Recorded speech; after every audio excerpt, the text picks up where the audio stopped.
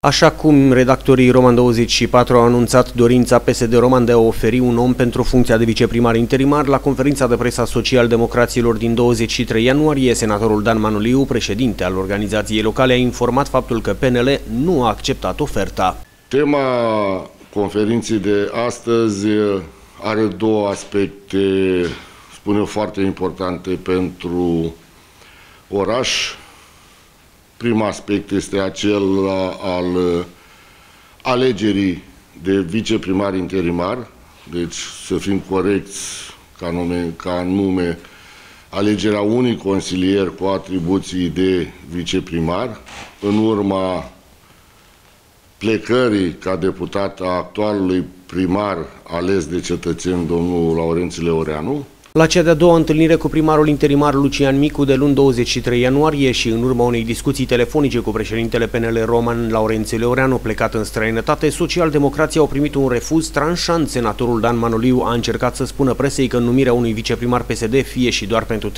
luni, ar fi fost în avantajul Romanului în condițiile în care partidul are majoritate la nivel parlamentar, are guvern PSD-ALDE și deține majoritatea în Consiliul Județean. Am avut, prin mandata, fiind mandatat de conducerea județeană a partidului și de președintele partidului, domnul Ionel Arsene,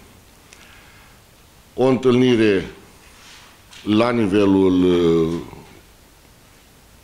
primării cu actualul primar, domnul interimar, domnul Lucian Micu, uh, domnul președinte al organizației PNL Roman, domnul Laurențiu Leoreanu, nu este în localitate, am înțeles că vine în seara asta, dar am avut o discuție telefonică și cu dânsul. Și scopul acestei întâlniri și a discuției avute a fost aceea de a propune ca la nivelul administrației locale să putem pune PSD-ul un viceprimar. Bineînțeles, motivația fiind aceea că în momentul acesta în care discutăm, alianța PSD-ALDE are majoritate în Parlament, are majoritate în Consiliul Județean și de asemenea are un guvern investit. Deși noi am ieșit câștigători la nivelul județului, nu discut de problema roman acum, dar la nivelul județului, și la alegerile din vara trecută și la alegerile din această iarnă la parlamentare, deși la locale și la parlamentare, am considerat că pentru binele romașcanilor, și pentru a putea face ceva pentru acest oraș, ca să spun așa, cu motoarele pornite în plin, să întindem o mână colegilor noștri care au majoritatea în Consiliul Local, tocmai pentru ca susținerea la toate palierele să fie totală. Socialdemocrații susțin că ar fi fost în avantajul Romanului să aibă un viceprimar PSD în această perioadă de interimat. Din păcate, astăzi, în urma unei discuții tot telefonice, am primit un răspuns de la colegii noștri liberali că nu agrează propunerea noastră, au alte planuri. Sincer, era o propunere care spune eu că era pentru 3-4 luni de zile până la organizarea alegerilor uh, parțiale și cred că era o propunere care era benefică pentru tot orașul. Noi ne-am făcut datoria, am cedat, ca să spun așa, deși suntem câștigători, și am întins această mână